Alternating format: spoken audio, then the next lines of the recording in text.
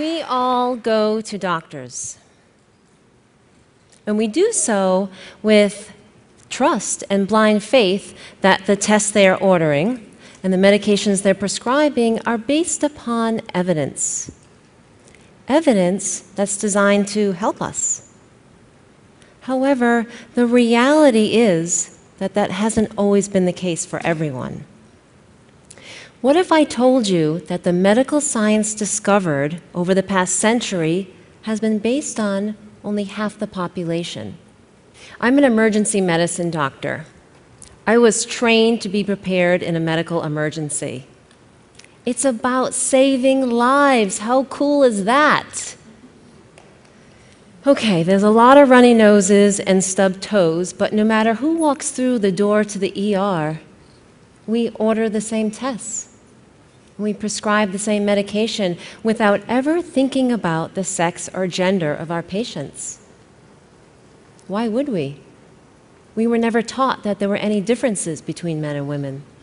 A recent government accountability study revealed that 80% of the drugs withdrawn from the market are due to side effects on women. So let's think about that for a minute. Why are we discovering side effects on women only after a drug has been released to the market? Do you know that it takes years for a drug to go from an idea to being tested on cells in a laboratory to animal studies to then clinical trials on humans, finally to go through a regulatory approval process to be available for your doctor to prescribe to you? Not to mention the millions and billions of dollars of funding it takes to go through that process. So, why are we discovering unacceptable side effects on half the population after that has gone through? What's happening?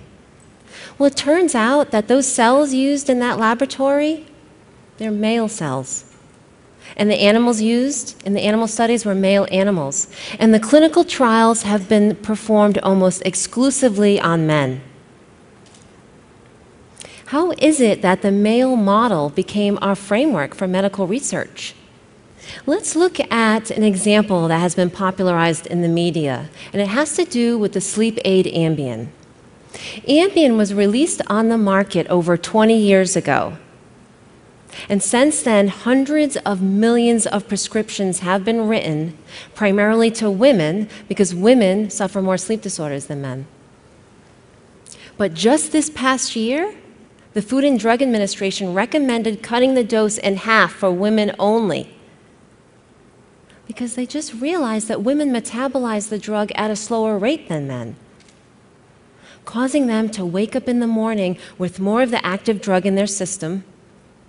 And then they're drowsy and they're getting behind the wheel of the car and they're at risk for motor vehicle accidents. You know, and I can't help but think, as an emergency physician, how many of the, my patients that I've cared for over the years that were involved in a motor vehicle accident possibly could have been prevented if this type of analysis was performed and acted upon 20 years ago when this drug was first released? How many other things need to be analyzed by gender? What else are we missing? World War II changed a lot of things. And one of them was this need to protect people from becoming victims of medical research without informed consent. So, some much needed guidelines and rules were set into place. And part of that was this desire to protect women of childbearing age from entering into any medical research studies. There was fear what if something happened to the fetus during the study? Who would be responsible? And so the scientists at this time actually thought this was a blessing in disguise. Because, let's face it, men's bodies are pretty homogeneous. They don't have the constantly fluctuating levels of hormones that could disrupt clean data they could get if they had only men. It was easier, it was cheaper. Not to mention, at this time, there was a general assumption that men and women were alike in every way. apart from their reproductive organs and sex hormones. So it was decided. Medical research was performed on men, and the results were later applied to women. What did this do to the notion of women's health? Women's health became synonymous with reproduction, breasts, ovaries, uterus, pregnancy. It's this term we now refer to as bikini medicine. And this stayed this way until about the 1980s when this concept was challenged by the medical community and by the public health policymakers when they realized that by excluding women from all medical research studies, we actually did them a disservice. And that apart from reproductive issues, virtually nothing was known about the unique needs of the female patient. Since that time, an overwhelming amount of evidence has come to light that shows us just how different men and women are in every way.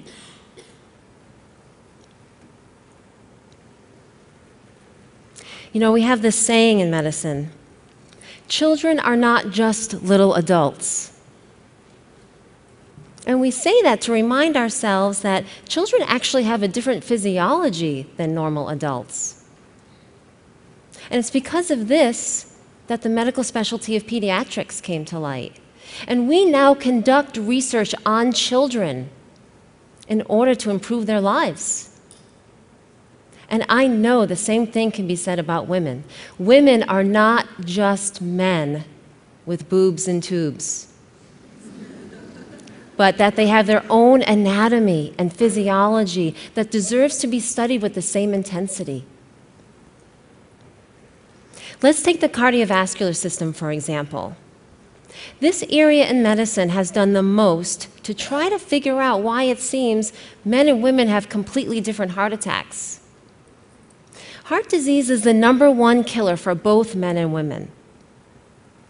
But more women die within the first year of having a heart attack than men. Men will complain of crushing chest pain. An elephant is sitting on their chest. And we call this typical. Women have chest pain too. But more women than men will complain of just not feeling right. Can't seem to get enough air in just so tired lately. And for some reason, we call this atypical, even though, I, as I mentioned, women do make up half the population. And so, what is some of the evidence to help explain some of these differences? If we look at the anatomy, the blood vessels that surround the heart are smaller in women compared to men. And the way that those blood vessels develop disease is different in women compared to men. And the tests that we use to determine if someone's at risk for a heart attack, well, they were initially designed and tested and perfected in men, and so aren't as good at determining that in women.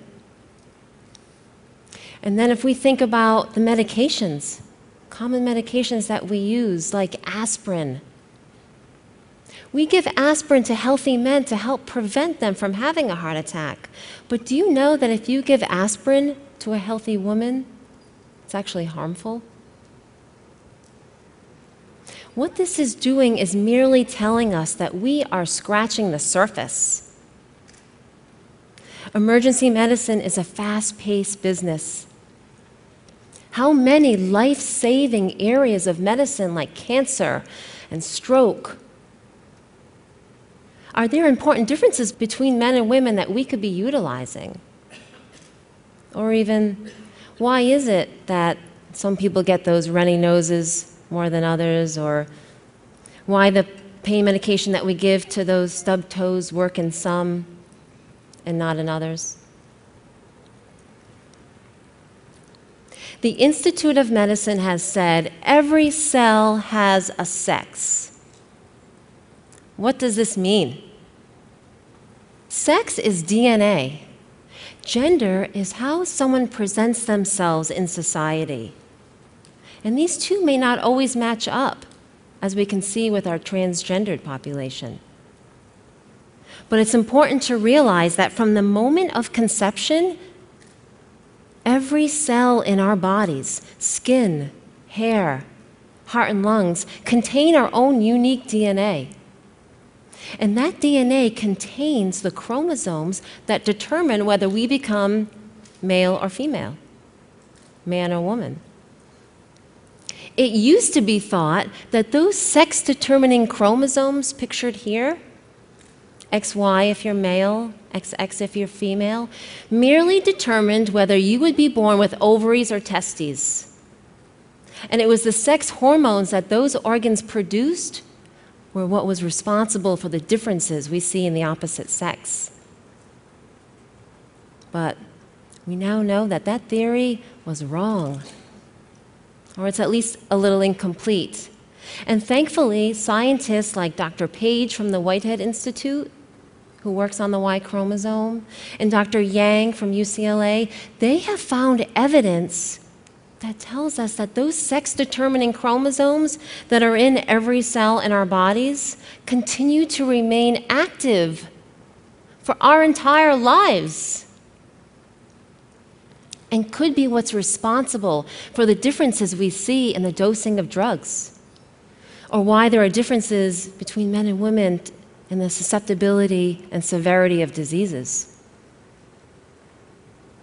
This new knowledge is the game changer. And it's up to those scientists to continue to find that evidence, but it's up to the clinicians to start translating this data at the bedside today, right now. And to help do this, I'm a co founder of a national organization called Sex and Gender Women's Health Collaborative, and we collect all of this data so that it's available for teaching and for patient care. And we're working to bring together the medical educators to the table. That's a big job. It's changing the way medical training has been done since its inception. But I believe in them. I know they're going to see the value of incorporating the gender lens into the current curriculum. It's about training the future healthcare providers correctly. And regionally, I'm a co creator of a division within the Department of Emergency Medicine here at Brown University called Sex and Gender in Emergency Medicine. And we conduct the research to determine the differences between men and women in emergent conditions like heart disease and stroke and sepsis and substance abuse, but we also believe that education is paramount. We've created a 360 degree model of education. We have programs for the doctors, for the nurses, for the students, and for the patients. Because this cannot just be left up to the healthcare leaders. We all have a role in making a difference. But I must warn you, this is not easy. In fact, it's hard. It's essentially changing the way we think about medicine and health and research. It's changing our relationship to the healthcare system. But there's no going back. We now know just enough to know that we weren't doing it right. Martin Luther King Jr. has said, change does not roll in on the wheels of inevitability, but comes through continuous struggle. And the first step towards change is awareness. This is not just about improving medical care for women. This is about personalized, individualized health care for everyone. This awareness has the power to transform medical care for men and women. And from now on, I want you to ask your doctors whether the treatments you're receiving are specific to your sex and gender. They may not know the answer yet, But the conversation has begun, and together we can all learn. Remember, for me and my colleagues in this field, your sex and gender matter. Thank you.